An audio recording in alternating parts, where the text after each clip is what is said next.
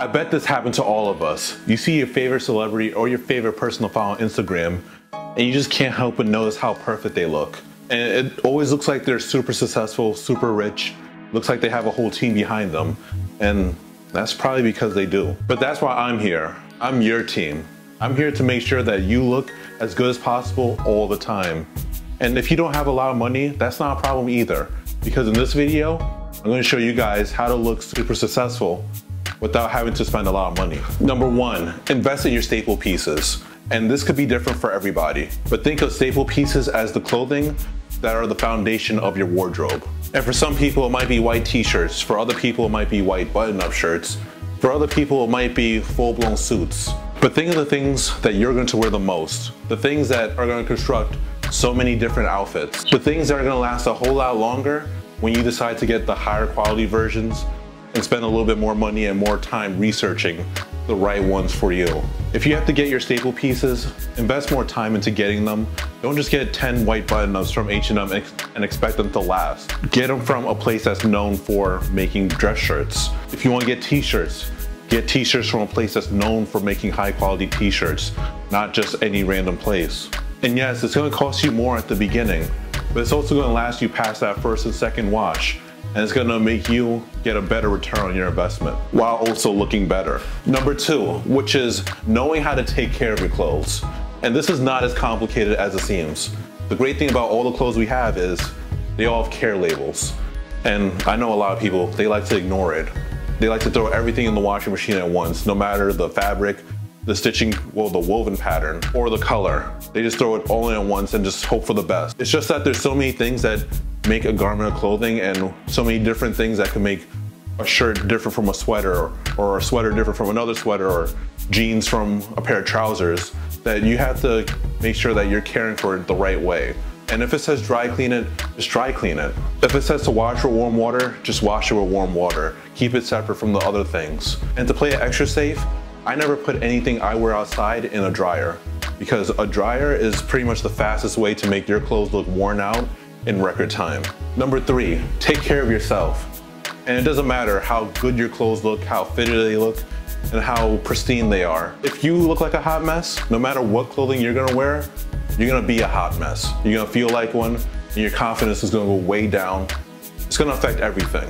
So I say, make sure you're keeping your facial hair in check, make sure you're keeping your hairline in check, Anything that you have can be maintained and you just have to make sure you're maintaining them. Even if you have to set reminders every couple of days to maintain your hairline or to shave because I have to do it like every three or four days. Just make sure you do them because it's gonna make a world of difference. And I see this all the time. I can see somebody with the most amazing outfit ever.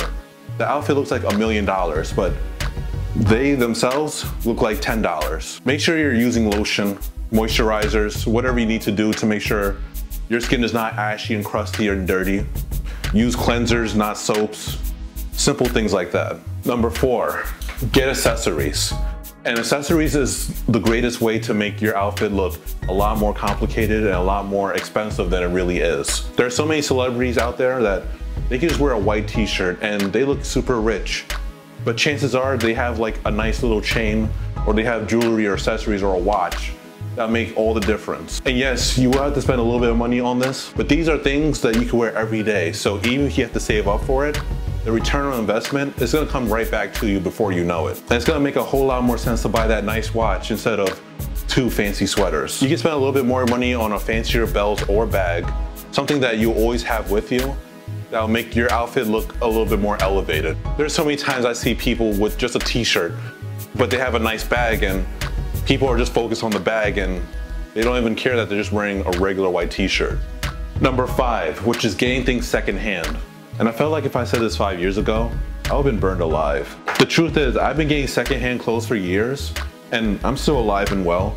And I saved a lot of money doing it. But there are certain things that I started looking at online like leather jackets, things that are timeless, staple pieces that are going for highly discounted prices just because somebody wore it like two or three times. And the better part is, is that now there's just so many consignment websites out, it's even easier to get these luxury goods at a discounted price. Some people swear that the clothes you buy secondhand are super used, super dirty, and they're just gonna burn a hole right through your skin. But half the time, I swear it has even less wear than the stuff that you get in the stores that have been worn so many times by people in fitting rooms. Number six, getting interchangeable clothing. And this kind of sounds like number one, but this puts more emphasis on the fact that you have to get simpler clothes, more streamlined clothes. And these are essentials. These are things that you want to make sure you can layer easily. Things that don't have too many logos on it. Things that are more streamlined. They don't have unnecessary things like contrasting stitching or random pockets everywhere. And having interchangeable clothing is gonna give you a better return on investment because you can wear them in multiple outfits. Think of getting a nice pair of navy trousers as opposed to the trendy thing, which is get a pair of jeans with a stripe on it. And yes, those jeans do look amazing. You're not gonna get as much wear out of it than the navy pants. And you'll also get extra style points when you can layer all those items together and make one amazing outfit. And my final tip, get a fragrance. And this one is gonna impact you a lot more than you think. There's so many people who I see, they have amazing outfits, they look incredibly good. But when you get closer to get a better look at that outfit, you notice that they smell like a load of sweat. You don't have to spend a lot of money on a fragrance. There's so many great options out there. Just make sure that when you're looking as good as possible, you're also smelling as good as possible. But those are my tips on how to look great on a budget. If you guys found this video helpful, make sure to give the video a like and make sure to subscribe as well. And also follow me on Instagram because I'm posting a lot of content on there that you won't see on this channel. But I'll see you guys next time.